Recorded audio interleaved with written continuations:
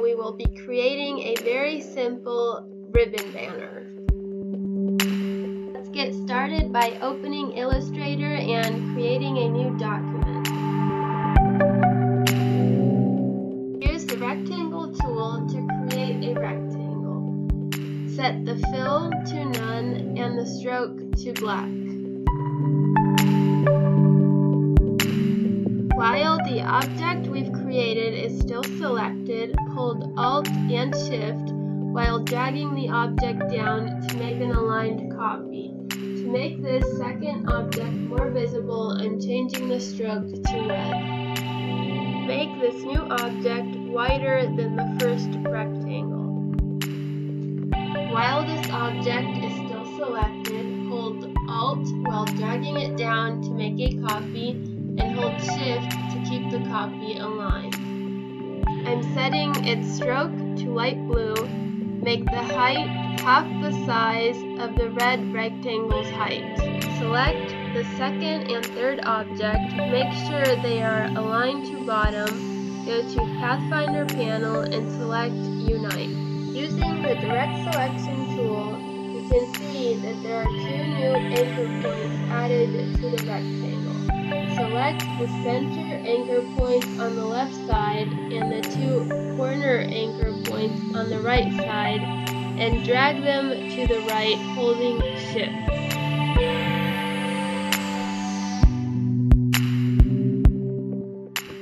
Create a new rectangle. I'm changing its stroke color to green. Make its width smaller than the black object and the height higher than the red object. Select all the objects, go to the Align panel, and Horizontal Align to Center. Select the second and third object, go to Pathfinder panel, minus Front.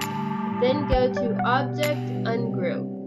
Now select the black rectangle, which is the first one we drew, make a copy, and paste to front. I'm going to color this copy blue. Make sure it's above all objects by right-clicking and bring to front. Keep it selected and also select the red object to the left. Go to Pathfinder panel minus front. Control F to paste another rectangle to the front and repeat these steps with the red object on the right. I'm changing the stroke color to blue select the pen tool and create a triangle by drawing the points on the three existing anchor points. Select the triangle, go to the stroke panel and change the stroke corners to round joints. Now that the joints align with the other objects, while the triangle is selected, go to the reflect tool and make a reflected copy of the triangle. Hold shift while dragging it to the right and position it. Now that the ribbon design is finished, I'm going to select all the objects, change the stroke to black, go to Object Group, select a two-point width for the stroke, and change the stroke corners to round joints. Select the Type tool to add text that you're going to position inside the ribbon.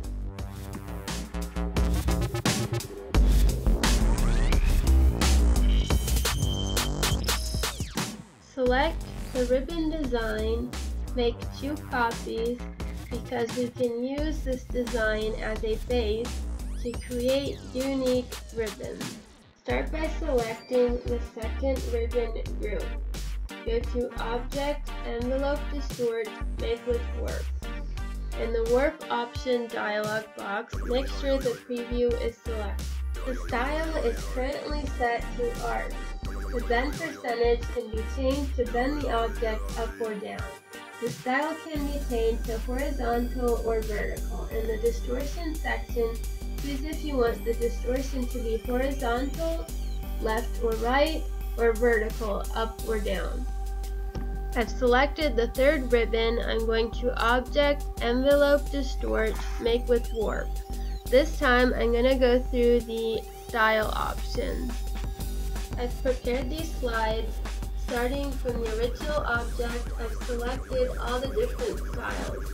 so you can go through them and see all the styles that are available.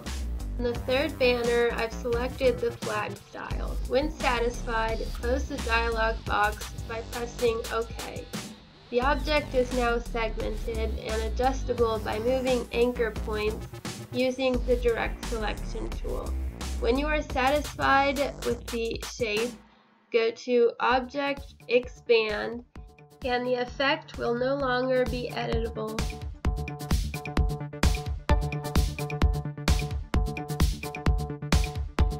Select the Pen tool and starting from the second ribbon, create a curved segment following the ribbon curve. Select Type on Path tool, position the pointer on the path and click to enter text. The path stroke or fill will automatically be removed.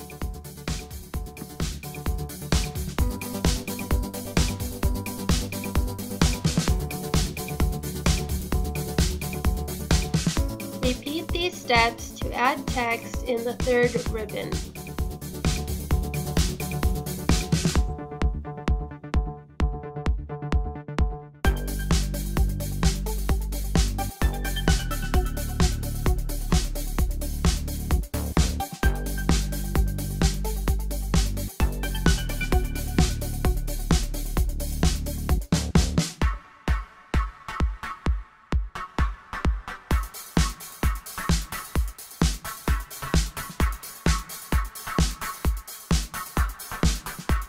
For the final step, use the ellipse tool to create a circle.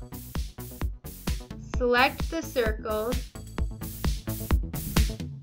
and use the Type on Path tool on Close Path to enter text.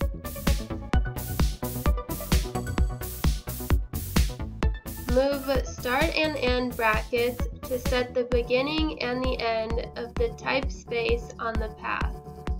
To move text along the path, drag the center bracket along the path.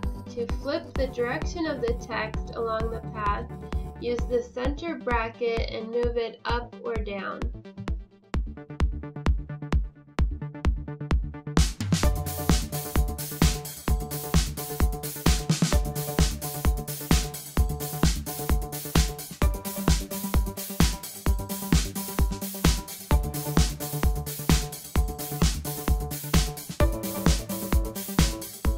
We are done in this video. Thank you so much for watching and stay tuned for more videos.